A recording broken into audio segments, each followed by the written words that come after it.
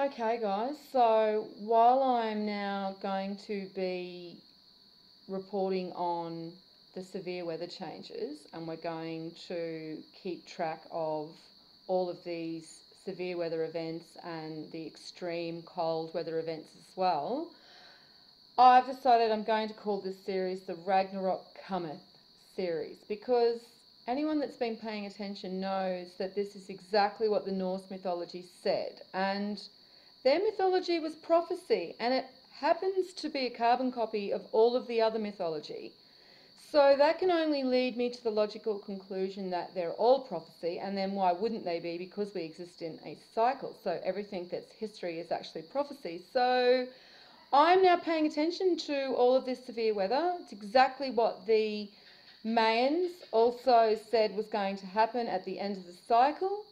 And unfortunately, the Mayans were hijacked by the agenda of the establishment because they didn't want the truth coming out. They wanted us to just focus on that one date, when in actual fact, it's always been about a transitional time. Even the Maya themselves say that, and they said it started in 2011, and it did with the huge earthquake with Fukushima, actually. And that's really when the shift began to accelerate more with all of the changes. And we're actually seeing another shift now. It's almost like we go up a cog, and now we're going to see an acceleration of more of these earth changes. And particularly cold weather because we're getting a lot more volcan- volcanoes erupting. We just had a volcanic eruption today because we have been hit by some solar activity that's very unusual. We had quite a huge hit here, and we seem to be going in and out of storm. And this doesn't make sense with their theory about the solar winds because it doesn't explain why the solar wind stops and starts like this, and it never used to do this. And I've been observing this data for at least three years now. So I'm not saying I'm an expert, but I do know what I see on the data because I check it daily. So this is not something that we are used to experiencing, especially so close together. It's suddenly becoming very active. We're getting hit with these real good energy hits now out of nowhere. And of course, they're going to reflect in the volcanic activity. And the more volcanoes that are going off, they're changing our atmosphere, as I was saying in the other video. And they're dropping the temperatures. Um, Greece has got heaps of snow at the moment and experiencing severe cold. We've got over in the Middle East rare ice and cold and snow. Okay, now I'm not saying that these events don't ever happen, and this is the way that people that fall into normalcy bias try to escape the reality of what's happening and the changes that we are experiencing on our planet. And they say, well, this happened, you know, 100 years ago, or this happened 50 years ago. Yeah, that's correct, it did. But what we're looking at now is a lot of events happening at a very close proximity of time together and it has been accelerating since 2011. They've even admitted that there's been more earthquakes at the beginning of 2014 that they've observed before. So there are changes there, and they're not going to report it on the nightly news on Fox, okay? You have to actually go and look for it yourself, which is what I do because I'm just not happy to sit back and wait for them to tell me what's going on because I know that they are not going to, and they never have. In all of history, they have never warned mankind of pending doom or, or anything like that. So you have to actually be paying attention yourself.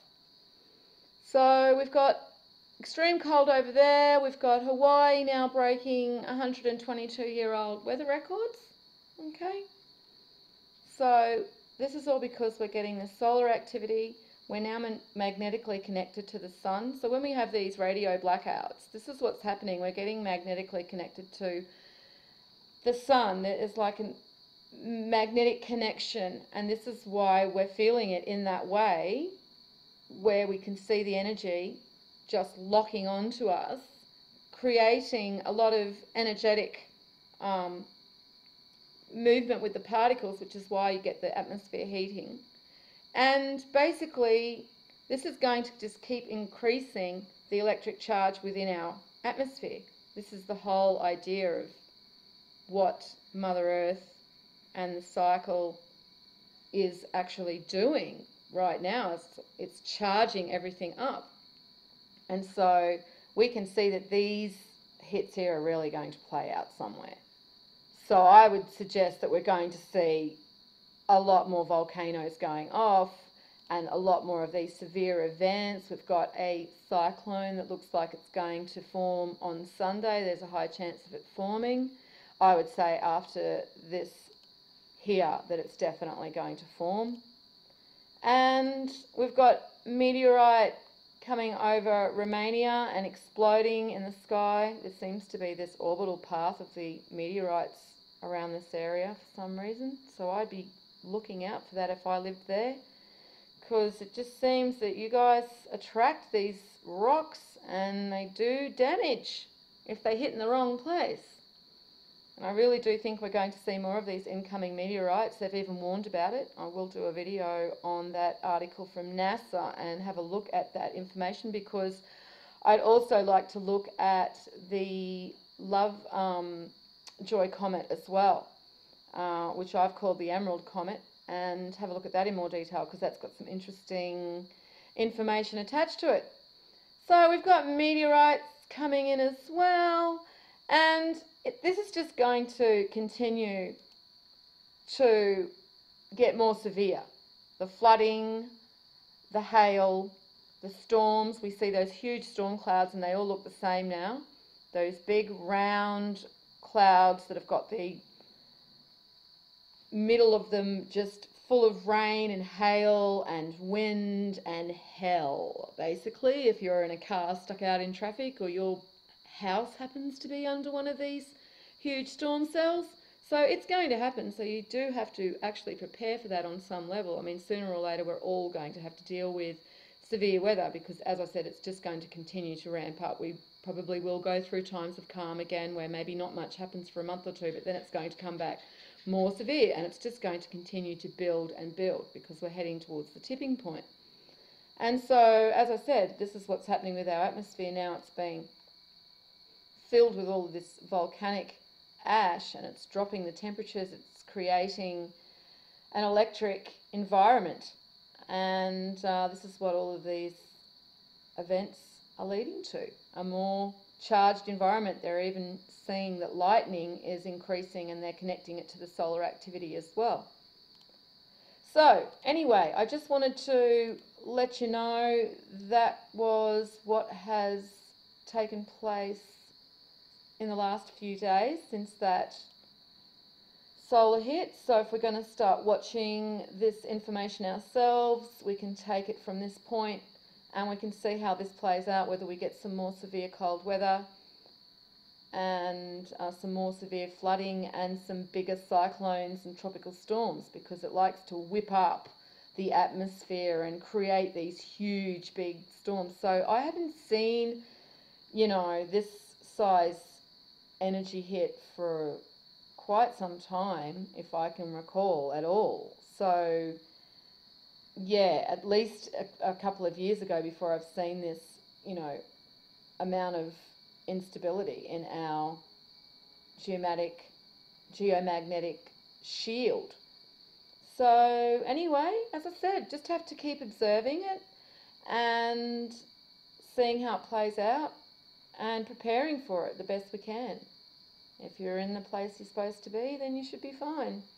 If you're ignorant and you've not listened to your instincts, then maybe you've got something to worry about. But it's all in your destiny, so just face whatever you have to face with, you know, courage in your heart. That's all we can do because it's all going to the one point in time. And so, yeah, it's all going to be a matter of each individual soul just facing what approaches. So whether that sounds ominous or not, I can't help it, but I'm just showing you what the information shows what happens at the end of the cycle. So we have to prepare for that. Which is why I suppose I'm finding all of this information and putting it together because that's how the universe works. And so some of us aren't blindsided, the ones that do want to pay attention aren't blindsided. The other ones, the ones that are too lazy to inform themselves and are just happy to take information from whoever gives it to them and sounds good and appears to be knowledgeable, well, they will reap what they've sown. That's how it works. But until then, Ragnarok cometh. We will continue to watch the environment and watch the weather and wait for all of this to play out. But let's also remember that even when this plays out on a physical level with the weather and you know volcanic eruptions and earthquakes, it also plays out on a political level, emotional level, all of those other levels too. It just everything when it's causal goes through all of the planes, all of the different aspects are going to be influenced by energy. So just know that. And so if you are a little bit, you know, quick to lose your temper or something like that, that um, you could be reacting to the solar activity as well. So don't be too hard on yourself. Alrighty, well I will leave it here. I'll put all of the links underneath. And uh, as always, peace out.